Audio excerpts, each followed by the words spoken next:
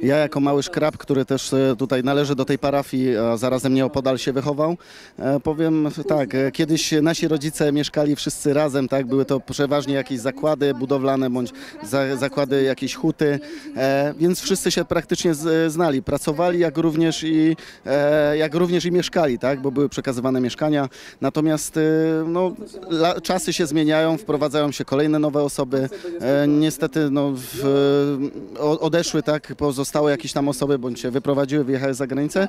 No i często jest tak, że, że ten kontakt powiedzmy między sąsiadem a sąsiadem jest e, przerywany, więc ważne jest dla mnie to, żeby znowu jakby nawiązać e, nowe kontakty, tak, kontakty przyjacielskie.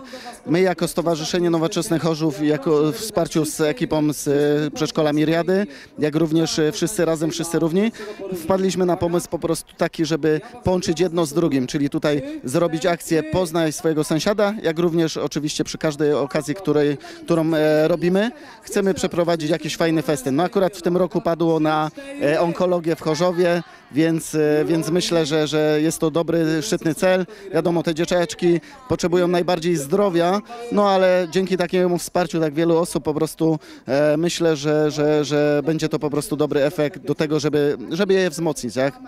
Coraz więcej mieszkańców Chorzowa zbiera się e, tutaj e, na terenie e, parafii. Jakie atrakcje przygotowano dla wszystkich zebranych? No mamy, jak za moimi plecami widać, jest dmuchany zamek. Dzieci oczywiście mogą się tam wyżyć po, po tygodniu szkoły, bo, która się teraz niedawno zaczęła.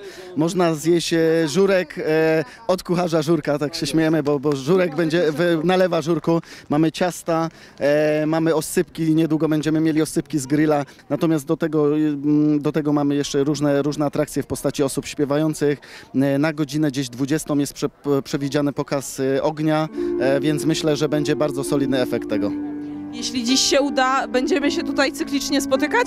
E, Jak najbardziej. To, co e, ze stowarzyszeniem robimy, to już e, jak coś już zapoczątkujemy, to już cyklicznie chcemy po prostu podnosić sobie rangę spotkania po prostu. Widać, no ro, roboty jest dużo. Ostatnio jak dawałem wywiad, byłem ogolony, teraz już nie ma czasu nawet na ogolenie brody po prostu, ale wiadomo, szczytny cel, wiadomo, ważne są efekty.